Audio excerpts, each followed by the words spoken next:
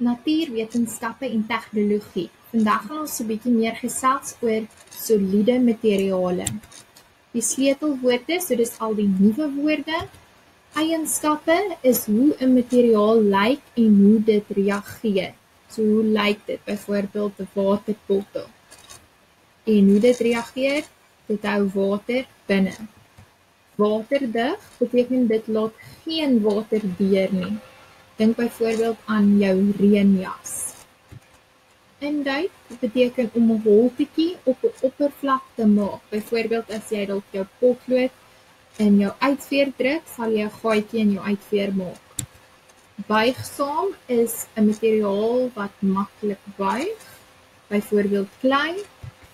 Styf is materiaal wat nie maklik buig nie, byvoorbeeld harde stuk hout. Absorberend beteken dit suig vloeistof op. 'n Goeie voorbeeld daarvan is 'n spons. En die laaste een ondersoek beteken vind meer uit oor iets. Eienskappe van materiale. Ons maak dinge uit verskillende materiale.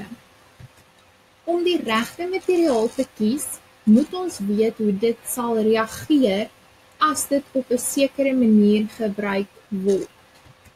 Met ander woorde, ons moet weet wat die eienskappe van die materiaal is.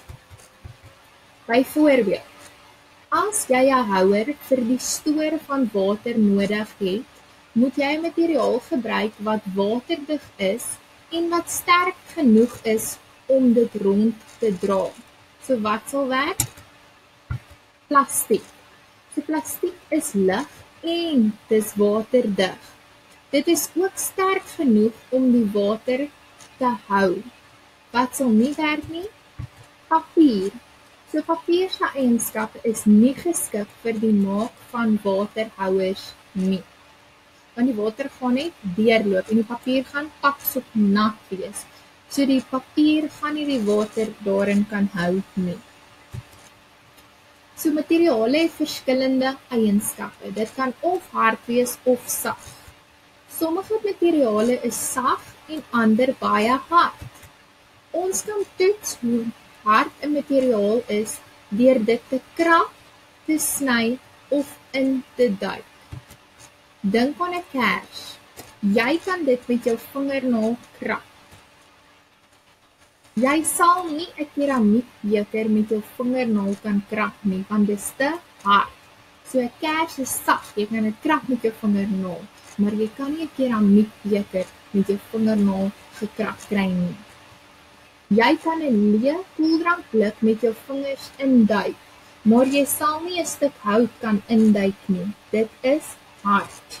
Om die hardheid van materiale te vergelyk, moet hulle op dieselfde manier getoets word. So as jy byvoorbeeld die koeldrankblik en 'n stuk hout vat, moet jy met dieselfde vinger en met dieselfde druk daarop druk. Dit moet die op dieselfde manier getoets word.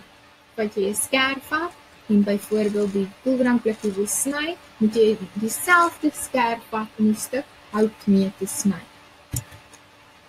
Dan kan 'n materiaal of styf of buigsaam wees.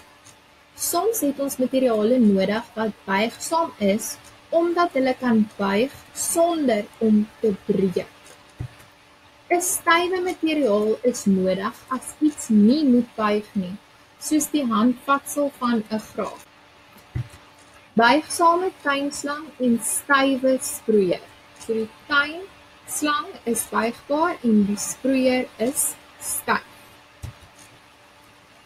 sterk of swak en lig of swaar.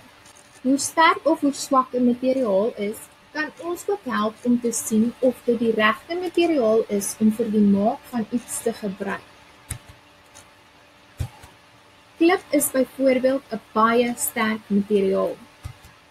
Dit kan egter moeilik wees om mee te werk omdat dit baie swaar is. So klip is sterk ja, maar dis baie swaar, dit is moeilik om rond te dra. Dit word dikwels gebruik om mee te bou. Die ligtheid of swaarheid van 'n materiaal is ook 'n eienskap wat oorweeg moet word om te sien of dit vir die maak van iets geskik is. Plastiek is lig, maar kan ook baie sterk wees. Dan is dit waterdig, hou dit die water uit of is dit absorberend, trek dit die water in. Sommige materiale kan vloeistowwe soos water absorbeer of inneem, soos 'n spons byvoorbeeld. Baie materiale is absorberend, so trek die water in. Ander materiale is waterdig, wat beteken dat hulle water kan hou. 'n Reënjas is waterdig. So wanneer jy reënjas aan het, gaan jou reënjas nat wees, maar jou klere onder die reënjas gaan droog wees, want die reënjas hou die water weg. Reg, nou gaan jy aktiwiteit 6 doen. Nommer 1. Pas die woorde in kolom A by die korrekte betekenis in kolom B en skryf die korrekte letter in kolom C. Reg, kolom A. Nommer 1 plastiek, 2 absorberend, 3 bros, 4 vesels en 5 keramiek. Dan kolom B A drade in plantmateriaal en dieremateriaal, B gemaak van klei en sand C gemaak van steenkool en olie, D breek maklik en E suig vloeistof maklik op. So nommer 1 plastiek moet jy besluit. Is dit A, B, C of D?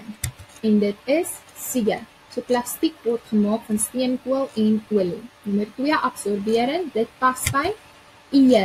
So absorberend suig vloeistof maklik op. Nommer 3 pas by D Bros beteken dit breek maklik. Vier vesels pas by A, drade in plantmateriaal en dieremateriaal en die laaste een nommer 5 keramiek. Dit is gemaak van klei en sand. Reg nommer 2.